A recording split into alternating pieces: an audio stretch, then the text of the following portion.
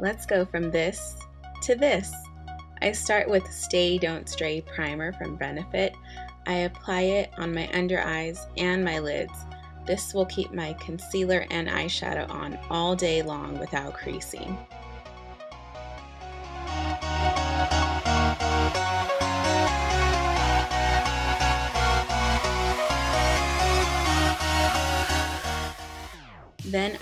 Apply Time Balm Concealer by The Balm with my ring finger on my under eye.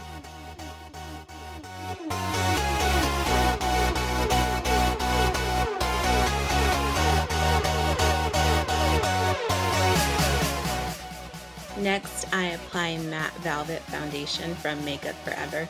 I love this foundation because it's oil-free and water-resistant.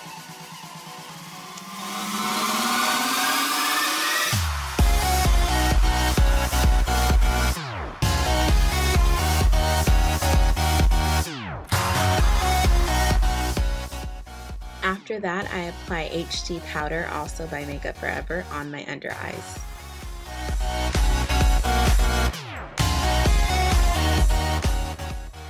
I then take two bronzing powders, mix them together from this palette, and apply them in the hollows of the cheeks.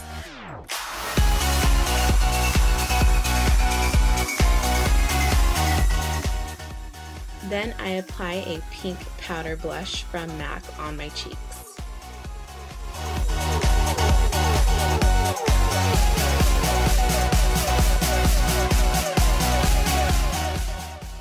To give my skin this glowy, dewy look, I use Benefit's High Beam on the top of my cheekbones and also on my brow bone.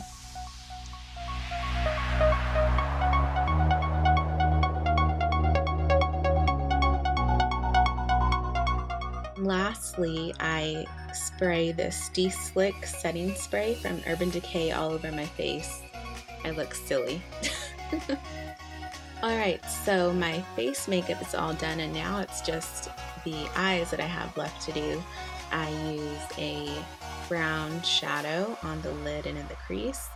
I then use some black cream liner. Um, I usually go very thin on the liner, but today I decided to do a little bit of a winged liner. Curl my lashes, apply mascara, I'm sure you've heard this a million times, but do not forget about your brows. Fill them in because they really do frame your face, especially if you wear eyeglasses. Okay, so after all that is done, the only thing left is to fill in my lips with a nude lip liner and then apply a nude lipstick. This one is one of my favorites. It is Tea Rose by Laura Mercier. Yay, the face is done, the eyes are done, the lips are done, but my bangs are a mess.